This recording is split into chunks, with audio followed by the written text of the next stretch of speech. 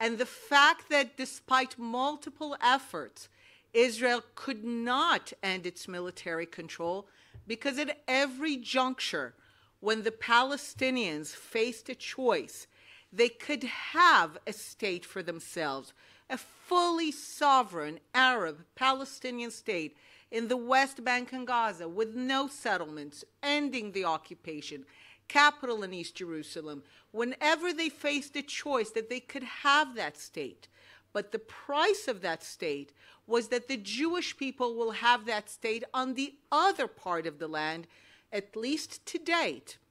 They have decided that this is too high a price to pay.